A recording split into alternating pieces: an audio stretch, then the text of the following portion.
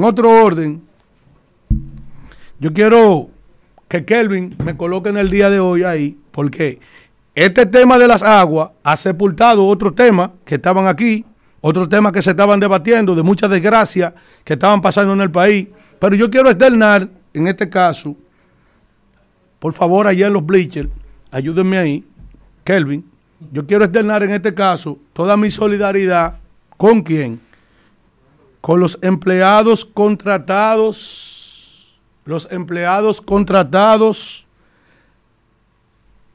de Radio Televisión Dominicana que están aguantando el fuerte inmisericordia, la furia de un maldito que se llama Iván Ruiz.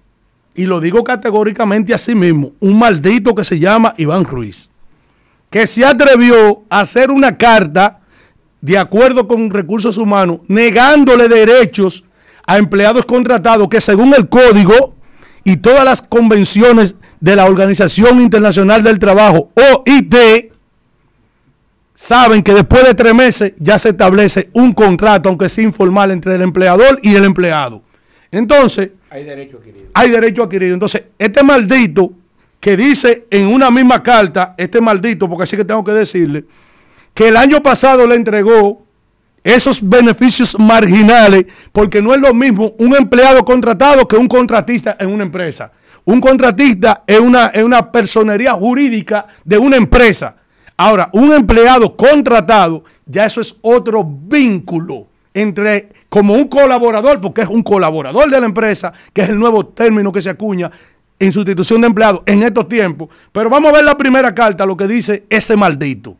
Oigan bien, dice aquí, cortésmente le estamos dirigiendo, eh, nos estamos compartiendo, eh, cortésmente le estamos compartiendo en las comunicaciones ANESA la aprobación de un informe presentado en la Dirección General sobre las razones que motivaron la creación de una nómina eventual. Habla de carta compromiso y la resolución de la ley eh, de función pública, la 4108, donde indicamos que la institución no tiene obligación legal para la asignación de beneficios marginales, los cuales son pago de vacaciones, pago de seguro privado, asignación de combustible, pago de viáticos, pago de horas extra, asignación de uniforme, pago de salario 14, salario complementario del 22, entre paréntesis, y el pago del salario 13 de la regalía pascual por su condición de contratados en la carta de compromiso. ¿Qué pasa? Dice aquí él mismo, por lo que contamos, por lo que contamos con ustedes para poder comunicarle a sus colaboradores que están en esta condición de contratado, oye, colaboradores contratados. Atención, Iván Ruiz, maldito. Oye bien, oye bien, en su colaboración, en su condición de contratados aclararles que el año pasado fueron entregados parte de estos beneficios por contar con la disponibilidad presupuestaria, condición que no es la misma para este año por limitaciones de presupuesto y por ser un año preelectoral o electoral, lo que ha limitado la recaudación de un 10% de la ley correspondiente a la publicidad ejecutada. Entonces, oigan esto, al verse descubierto, fui yo quien descubrí eso. Yo fui que lo ausculté porque recibí una fuente fidedigna de los abusos que está, que tiene que tener atención al, Ministerio de, Administración Pública, al Ministerio de Trabajo, a los sindicatos, a la Organización Internacional del Trabajo, de lo que está haciendo este maldito, con gente que está contratando y tiene meses y más de un año, que después de tres meses ya quieren derechos. Y mire cómo se lo está negando. Entonces, al verse descubierto, ese mismo día en la noche, yo venía de Puerto Plata, me dieron la fuente, entonces él contestó a la, a quimbamba de la noche, hizo un comunicado tratando de subsanar algo que es pasible de demanda al mismo Estado Dominicano y a la institución. Y oiga lo que escribió entonces el maldito. Dice aquí, sí, a los directores y encargados departamentales, cortésmente por este medio, se le informa que el oficio de la Dirección de Recursos Humanos referido en el asunto no fue consultado ni aprobado por nuestra dirección jurídica. Es decir, ya el tipo se está limpiando cuando se ausculta. Pero después que tienen angustia un paquete de empleados y maltratando un paquete de empleados ahí adentro en Radio Televisión Dominicana y se sigue haciendo el loco desde el, desde el Poder Ejecutivo sobre el abuso que tiene Iván Ruiz con los empleados de Radio Televisión Dominicana y cómo está utilizando los recursos de Radio Televisión Dominicana supuestamente en beneficio de su empresa, porque tiene personas que trabajan en su empresa pero que cobran en Radio Televisión Dominicana. Eso se dice. Así como unas licitaciones mostrenca que han acontecido ahí, que en su momento se denunciaron, yo mismo lo denuncié, pero después todo el mundo se echó el loco. Y oigan lo que dice este señor. No obstante, al ser un informe interpretativo de la ley, de los reglamentos y de, las resoluciones del Ministerio de Administración Pública más, por lo tanto, la Dirección General rechaza categóricamente el contenido de dicho informe del que yo leí primero.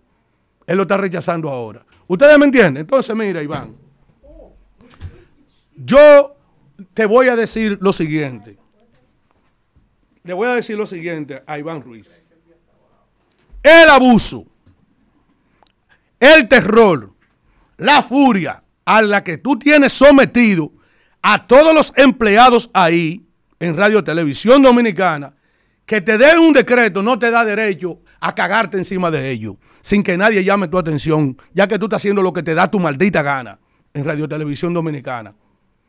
Esa carta que yo presenté, que di en primicia al país y que te obligó a ti a sacar otra carta otra información, entonces, denegando lo que ya tú previamente habías aprobado, pero al verte, al verte expuesto en los medios de comunicación y parece que te llamó alguien con conocimiento de derecho, que sabía el abuso que tú estás cometiendo en contra de esos empleados contratados que después de, tres meses tienen derecho, consignado en la Organización Internacional de Trabajo, OIT, del cual nosotros somos signatarios, es un abuso de tu parte y de quien te permite a ti seguirte haciendo aquello encima de esa gente. Yo espero que desde el Poder Ejecutivo se tomen cartas en el asunto y se revise lo que está pasando en Radio Televisión Dominicana, porque me dicen también que la que manda ahí es tu mujer, que el que manda no eres tú, que ella no está nombrada ahí y va a dar orden y todo el mundo le teme a una rabia que, que se mete por esos pasillos. Y que tus más cercanos seguidores que te celebran todos tus chistes malos, son parte de la complicidad de la desgracia que se está apoderando en Radio Televisión Dominicana. Y gente que tiene compromiso con su dinerito el año, el año entero, que han tomado préstamos o que van a esperar ese dinerito de esos beneficios que le corresponden por ley también, Iván. ¿Mm? Tú no debes de mantenerlo en esa angustia. Yo quiero decirle a esa gente que está ahí que ellos no están solos, siempre y cuando hayan voces que estemos eh, dispuesto eh, a hacerlo. Por último, quiero